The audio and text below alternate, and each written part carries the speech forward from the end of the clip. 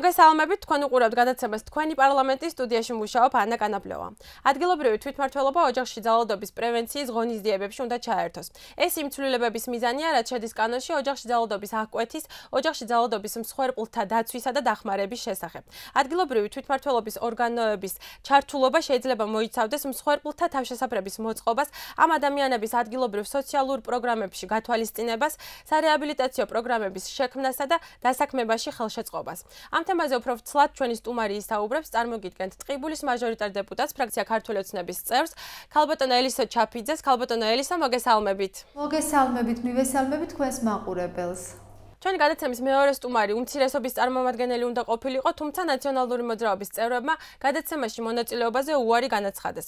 შესაბამისად, დღეს ჩვენი სტუმარი ტელეკომპანია Argos ჟურნალისტების მიერ მომზადებულ კითხვებს უპასუხებს. გადაცემის ფორმატის მიხედვით სტუმარს ექნება 25 წამი შესავალი და შემაჯამებელი სიტყვისთვის და ასევე 25 წამი კითხვებზე პასუხებისთვის. ქალბატონო ელისო გთხოვთ ამ თემის შესახებ თქვენი აზრი გამოხატოთ 25 წამი გაგვთ გისმენთ ოჯახური ძალადობის შესახებ კანონ პროექტი გახლავთ ერთ-ერთი პროგრესული კანონი რომელიც მიიღო მერვე მოწვევის პარლამენტმა ჩვენ ძალიან დიდი ენთუზიაზმით დავუჭირეთ მხარი ადგილობრივი თვითმმართველობის ორგანოების ჩართულობის გააქტიურებას, ასევე მოგიხსენებათ, რომ არის ცალკეული კანონპროექტები და დებულებები, რომელთა მიღება მთავრობამ უნდა მოასწროს 2014-2015 წლებში. დიდი მადლობა ახლა კითხვებზე გადავდივართ. პირველი კითხვა ასეთია: ოჯახში ძალადობის წინააღმდეგ ბრძოლაში რატომ გახდა აუცილებელი ადგილობრივი თვითმმართველობების ჩართვა? ზოგადად ჩვენი ხელისუფლება მიდის იმისაკენ, რომ ადგილობრივი თვითმმართველობების როლი გაიზარდოს.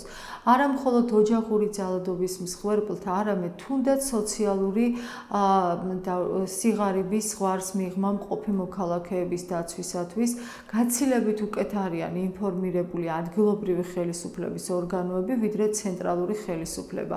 ასეთი ფუნქციების დელეგირება ადგილებზე ჩვენ ძალიან ბევრ პრობლემას უკეთ მოგვაგვარებინებდა.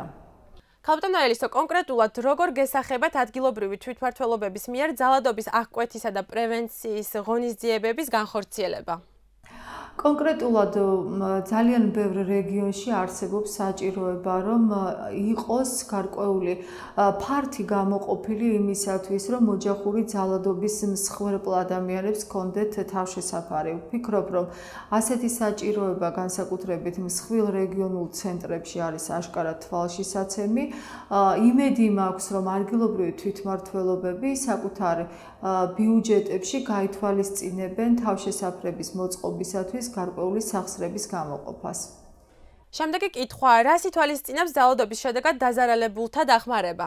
პირველ რიგში ეს არის დაუყოვნებლივი დახმარება აღნიშნული კანონ პროექტით ჩვენ შინაგან საქმეთა სამინისტროს ვუქმნით ვალდებულებას რომ დაუშვათ სწრაფად განისაზღვროს თუ რა ფარგლებში უნდა იმოქმედოს როგორც ადგილობრივმა თვითმმართველობამ ასევე პოლიციამ და როგორ დაიცვას ძალადობის მსხვერპლი და რა თქმა უნდა პირველადი დახმარების აღმოჩენა ღამის გათევის საკვების უზრუნველყოფა არის ძალიან მნიშვნელოვანი და ბოლო კითხვა ამ კანონის მოთხოვნათა ასამუშავებლად იგეგმება თუ არა თვითმართველობებში დამატებითი სტრუქტურის შექმნა ფიქრობ რომ დამატებითი სტრუქტურების შექმნა ისედაც ძალიან გაბერილ შტატებში ადგილობრივი თვითმართველობის ორგანოების არ იქნება მიზანშეწონილი ყველა მუნიციპალიტეტს გააჩნია სოციალური სამსახური რომელმაც შეიძლება წარმატებით შეითავსოს ზედამხედველობა ასეთი ტიპის თავშესაფრის ან გარკვეული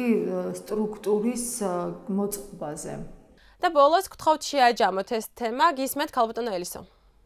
ვფიქრობ, რომ კანონის მიღებით ოჯახური ძალადობის შესახებ ძალიან მნიშვნელოვანი ნაბიჯი გადაიდგა ევროინტეგრაციის გზაზე, რადგან მოქალაქეების უფლებების დაცვა არის ძალიან მნიშვნელოვანი, მაგრამ ამავე დროს ფიქრობ, რომ ადგილობრივი თვითმმართველობის ორგანოებს, რომელთაც გამოთანაბრებითი ტრანსფერით საკმაოდ მცირე სახსრები აქვთ, ცენტრალური ბიუჯეტიდან მისაღები გაუჭirdებათ ამ პრობლემის გადაჭრა, ამიტომ ძალიან აქტიურად მინდა მოვუწოდო საერთაშორისო ორგანიზაციებს, რომ ჩაერთონ ადგილებზე თავშესაფრების მოწყობის დაფინანსებაში.